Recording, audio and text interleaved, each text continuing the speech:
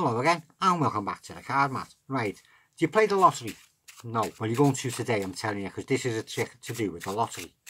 What I want you to do is in a minute pick five cards right and each card has got to be uh, like a number that you put on in the lottery so it's got to be a number between 1 and 9. Right, now I should not see this but I've got to see it otherwise we can't pick five cards between 1 and 9. Right? Yeah. So we just go through we just take out any five cards there's a nine there's a five and say a seven and take a two and take an eight right? So you're going to pick five cards.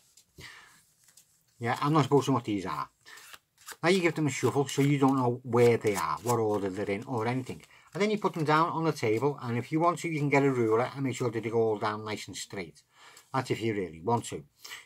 No don't have to I'll give the pack another shuffle. Now you need to pick a card, which is going to be your jackpot, which is the card you've got actually got a hit to win jackpot.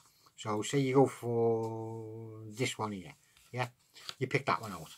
Now I don't want to know what this card is, so I'm going to show it to you, and in my usual fashion, I'm going to turn and face the other way. So turn around, I'm looking the other way, there's the card. Remember it, that's your jackpot card, could be worth a lot of wonga. Right, so you're going to see your card. Your card now obviously has to get lost into the middle of the packet, somewhere in the middle.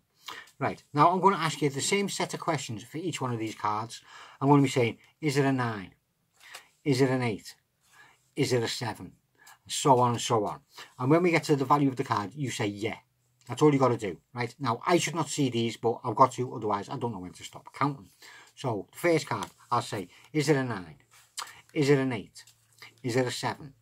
Is it a 6? Is it a 5? Yeah, okay, we'll put them down. Turn that over just to prove it. What's the next one? Is it a 9? Is it an 8? A 7? A 6? A 5? A 4? A 3? A 2? Yeah, it's a 2. Okay, we'll turn that over. Your next one. Is it a 9? Yeah, okay, we'll put that down just to prove it. What's that one? Is it a 9? Is it an 8? Is it a 7? Yeah, we put them down and we turn that over to prove it. Your last one. Is it a 9? Is it an 8? And you go, yeah. There we go. So, you just gone and picked your genuine lottery numbers, right? And they've just been put in the machine and they've come out. They have. All your five numbers have come out. But now you've got to see whether or not they've actually hit the jackpot. So, add the value of them all up and tell me what you've got. And you've got 31. Yeah, I can tell that because it's 15 and 20, 29 and 31. I'm pretty good at quick math. So 31. So there you go. You count down to 31 because that's a high number. 1, 2, 3, 4, 5, 6, 7, 8, 9, 10, 11, 12, 13, 14, 15, 16, 17, 18, 19, 20, 21, 22, 23, 24, 25, 26, 27, 28, 29 and 30. Right, 31st card. Decided to jump off my finger. 31st card, your jackpot card. Did you hit your jackpot? An ace of hearts.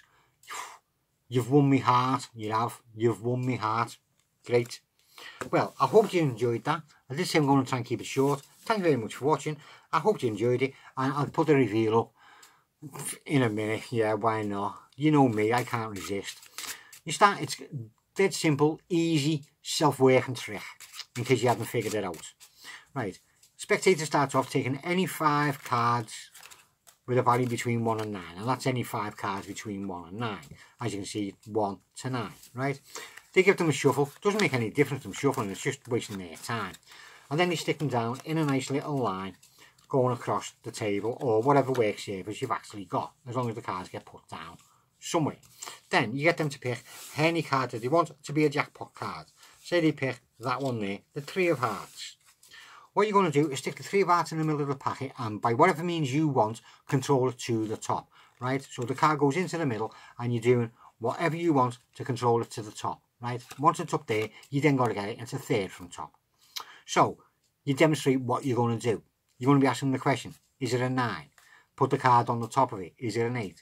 Is it a 7? So you're going to work it third to the top. Right, third from the top, sorry. Right, then, you're not supposed to see these cards, but I'll turn them over to just to save time.